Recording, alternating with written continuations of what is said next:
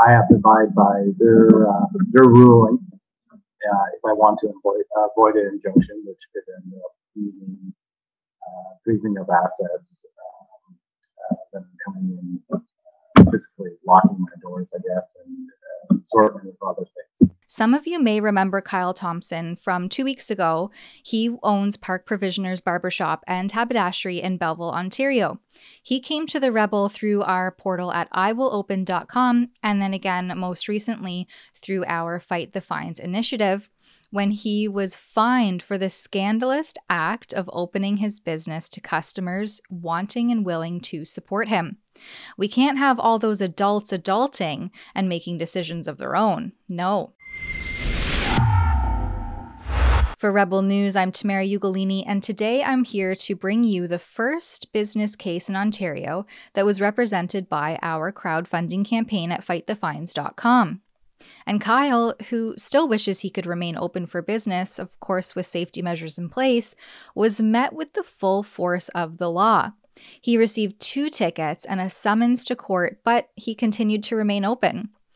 So the Crown brought down the hammer and they ordered an emergency injunction against his business, threatening to shut him down completely for the remainder of the emergency order. We found out that the Crown can actually do this without notice to the business owners. Now, that didn't happen in Kyle's case. They gave him fair warning and a time to respond, but Kyle wanted to stay open. Here's what he had to say about the situation. All right. So, Kyle, you opened your doors last Wednesday. How did that go?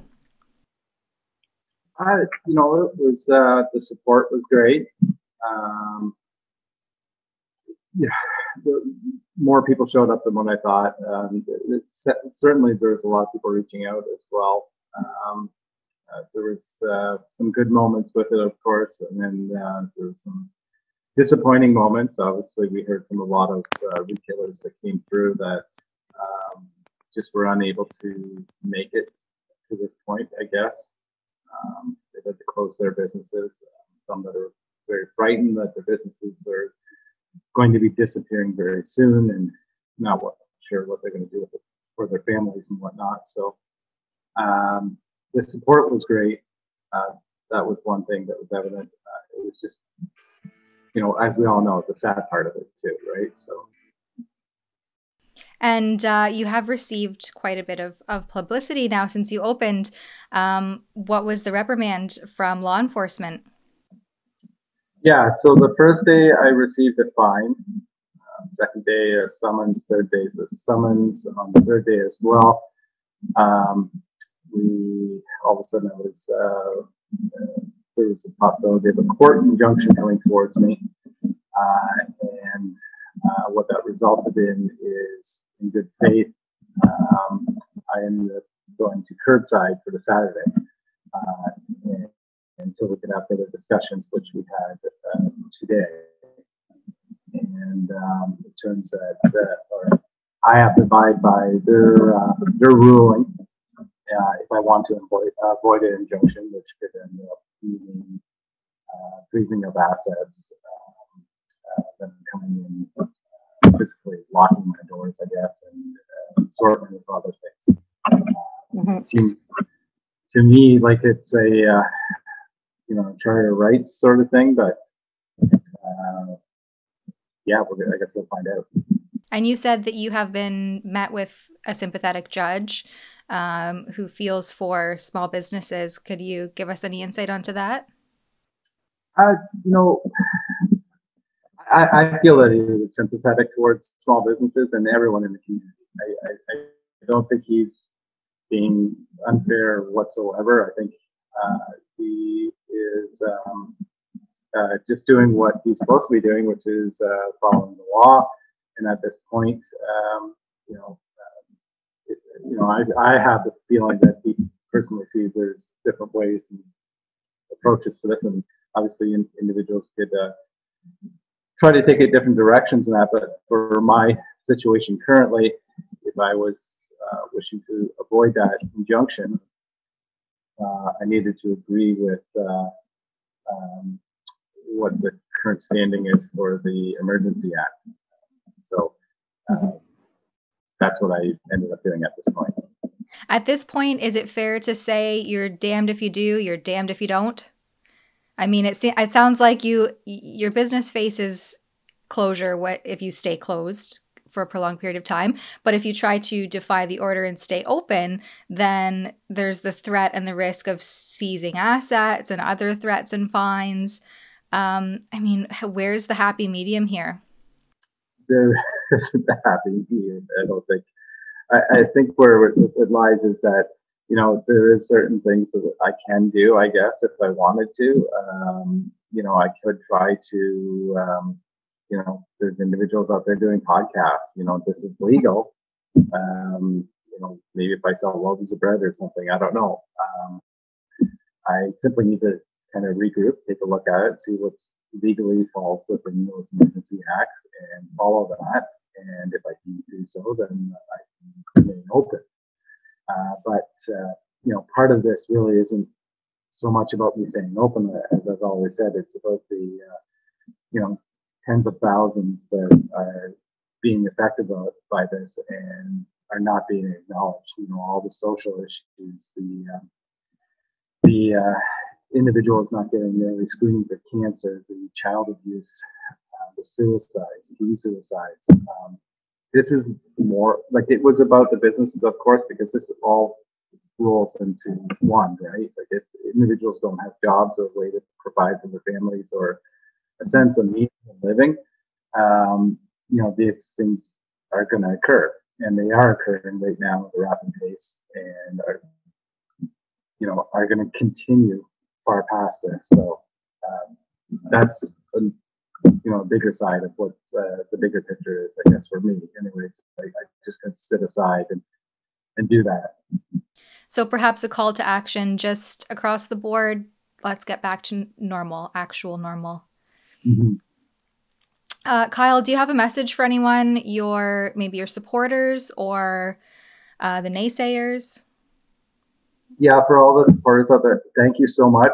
Uh, please keep in touch with us. Um, you know, whether I'm uh, uh, what I'm doing from here, I, I, can't really say at this moment. Um, I'm going to look at options and stuff like that.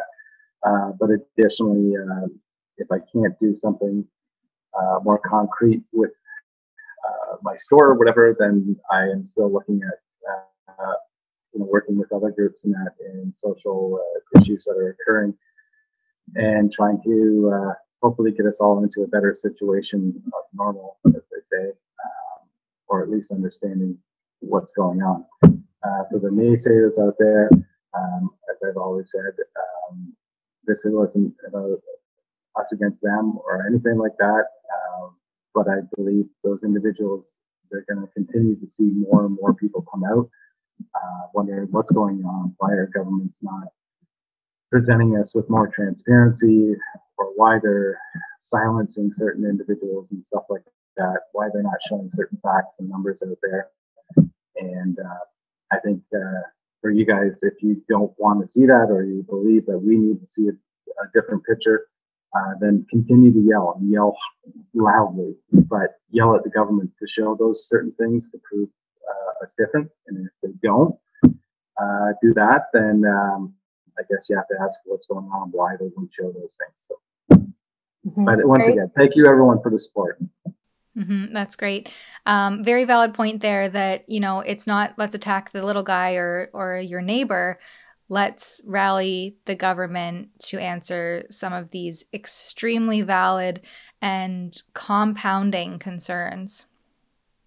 So thank you, Kyle. I appreciate you uh, taking a stand here. And um, I think that there will be more to this story. So we're going to stay in touch and let's hope to get back to actual normal.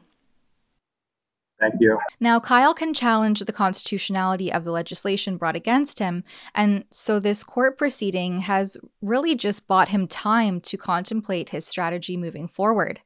At the beginning of March, Kyle will litigate his summons and his two fines through our Fight the Fines portal with a top notch lawyer that we have crowdfunded to represent him end these cases.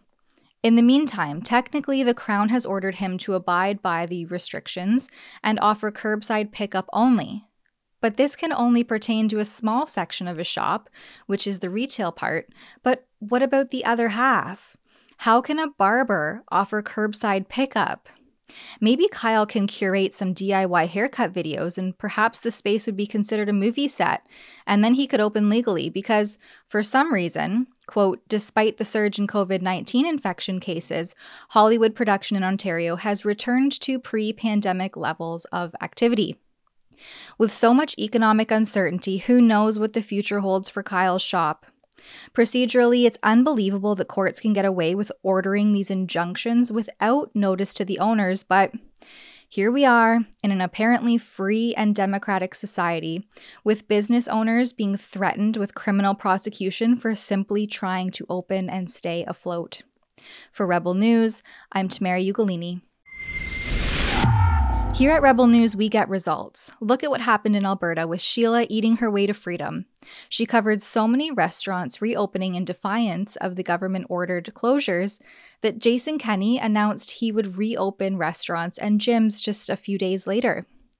If you want to support the work that we do to ensure that everyone can get back to work, please consider donating what you can to our crowdfunding campaign at fightthefines.com.